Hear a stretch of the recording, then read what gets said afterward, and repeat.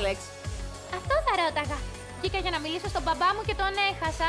Όλα καλά; Μια χαρά. Τα πόστερ έχουν μεγάλη επιτυχία και ο Πιέτρο ήρθε να πει συγχαρητήρια στο group. Αλήθεια; Wow, είναι η στιγμή μας. Πάω να βρω τον Άλεξ. Ε, Έμα, δεν σε έβρισκα.